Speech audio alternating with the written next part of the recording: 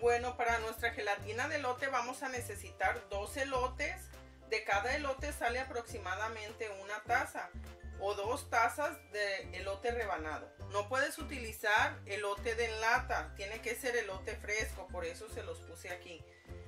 Media rajita de canela, medio rollito de canela. Una cucharada de vainilla, 35 gramos de grenetina o el equivalente a 5 sobres de 7 gramos. Una leche condensada, una leche evaporada, 3 cuartos de taza de agua para hidratar nuestra grenetina, un litro de leche de vaca o leche normal de la que tú uses, aceite para engrasar nuestro molde. Antes de ponerme a rebanar el elote, lo primero que tengo que hacer es poner a hidratar mi grenetina para que se hidrate de mientras yo hago los siguientes pasos. Solo voy a agregar la grenetina en el agua y le voy a mover.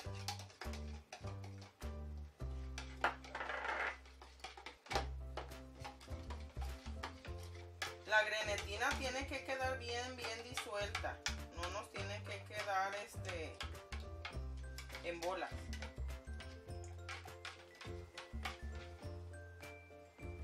Ahí voy a dejar la grenetina y voy a ponerme a rebanar los elotes.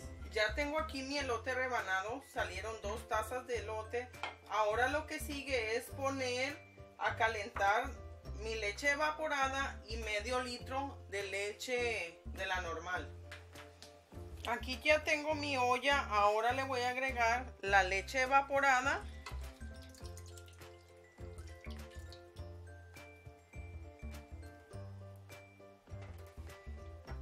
Y medio litro de la leche normal. Y la mitad del rollito de canela. La voy a dejar ahí que se caliente, le voy a mover, lo que no quiero es que se me vaya a pegar. De mientras esta leche se calienta un poco, voy a poner en la licuadora los demás ingredientes. Aquí tengo ya la licuadora, ahora le voy a agregar el elote. Recuerden que siempre hay que lavarnos las manos cuando vamos a ponernos a cocinar y para agarrar cada ingrediente si lo vamos a tocar con las manos. Le voy a agregar la leche. El otro medio litro de leche que les dije. La leche condensada.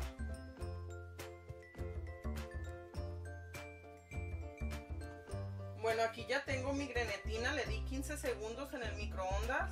Como te dije, lo puedes hacer a baño María también, para que se nos disuelva un poco.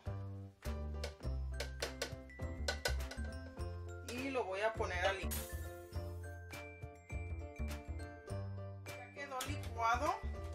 Espero si haya quedado todo el, todo el elote licuado. Ahora se lo voy a poner a la leche que tengo en la. Miren, yo lo voy a colar para que los grumos del elote no se vayan ahí.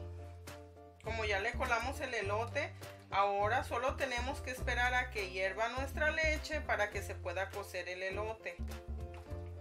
Así que le vamos a mover de vez en cuando, nada más no queremos que se haga nata ni que se pegue. De mientras vamos a ponernos a engrasar el molde. Como ya tenemos aquí el molde, ahora le vamos a agregar un poquito de aceite, muy poquito para poderle poner.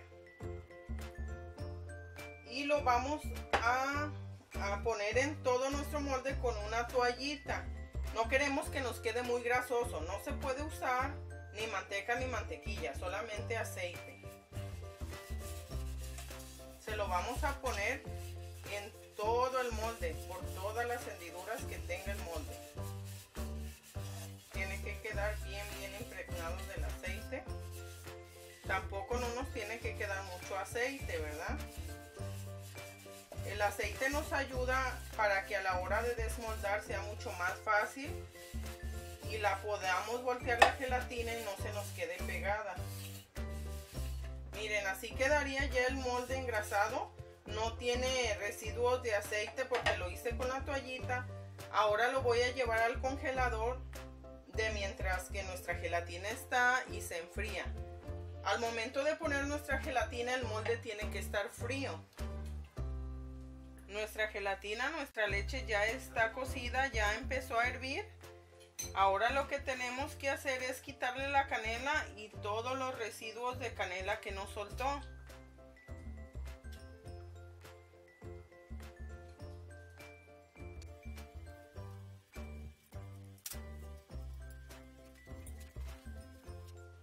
Pueden ver la consistencia y el color, se hizo un poquito amarillita, pero es normal. Ya le voy a apagar y la voy a dejar enfriar para ponerla en nuestro molde.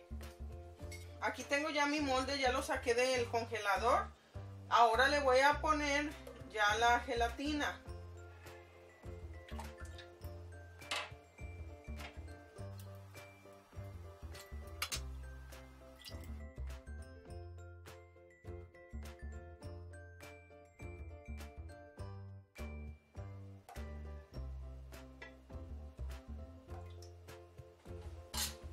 Aquí está ya la gelatina, ahora la voy a llevar al refrigerador de 3 a 4 horas dependiendo de cómo enfría tu refrigerador, ¿verdad? O la podemos dejar toda la noche para que nos quede un poquito más durita, más, más buena para poderla desmoldar. Nos vemos ya cuando esté lista la gelatina. Aquí tengo ya la gelatina, la dejé toda la noche en el refrigerador. Les voy a decir cómo le vamos a hacer para despegarla. Con las manos húmedas te puedes mojar las manos y con las manos húmedas le vas a hacer así en las orillas para que se pueda ir despegando.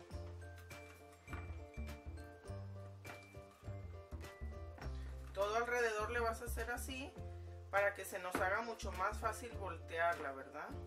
También en esta parte, bueno, dependiendo de tu molde, ¿verdad? Si tienes un molde mucho más fácil, redondo o de cualquier manera, es mucho más fácil. Ahora la vamos a voltear ya en donde la voy a dejar. Bueno, ya aquí tengo la base donde voy a poner la gelatina para poderla voltear, ¿verdad? A ver cómo nos va a quedar.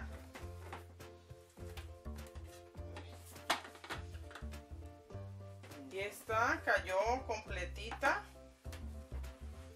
Bueno, si tú le quieres poner cualquier decoración está muy bien. Yo le voy a poner unos granitos de elote nada más aquí. Ya he rebanado un elote para que sepan que es de elote. Esto es solo decoración, ¿verdad? Tú le puedes poner lo que tú gustes.